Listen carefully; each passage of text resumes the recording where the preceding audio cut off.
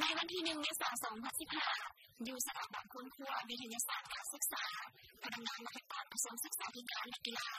ได้รับฟังการเผยแพร่เอกสารการนำพาแนวคิดข่าวในการร่วมสังคมอาเซียน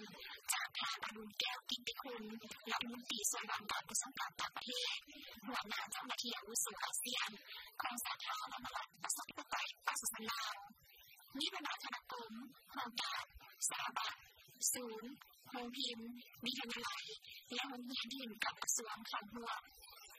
การเผยแพร่เอกสารในครั้งนี้ก็เพื่อให้ใครสมาชิกพักพนักงานราชการได้รับรู้และเข้าใจ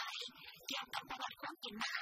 การตั้งเกียมและความพร้อมในการเข้าเป็นสังคมเศรษฐกิจอาเซียนที่เป็นสมาคมประชาชาติให้กับสิ่งตะวันออกเฉียงใต้โดยได้ทำการสร้างตั้งขึ้นในวันที่8สิงหาคมปี2567 ที่บางกอกประเทศไทย และสาธารณรัฐประชาธิปไตยปัสสาวะได้เข้าเป็นสมาชิกในปี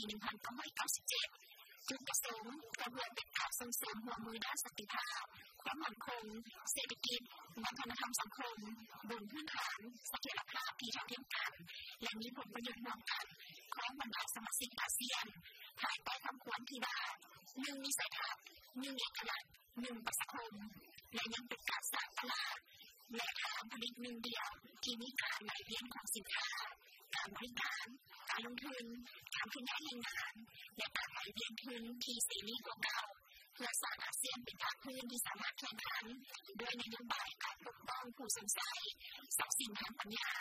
การพัฒนาภาคพื้นโครงหลักขับร้อนและการค้าภาคอิเล็กทรอนิกส์ด้วยการส่งเสริมธุรกิจขนาดน้อยและกางเสริมโยงกับเศรษฐกิจสากลบนพื้นฐานควาน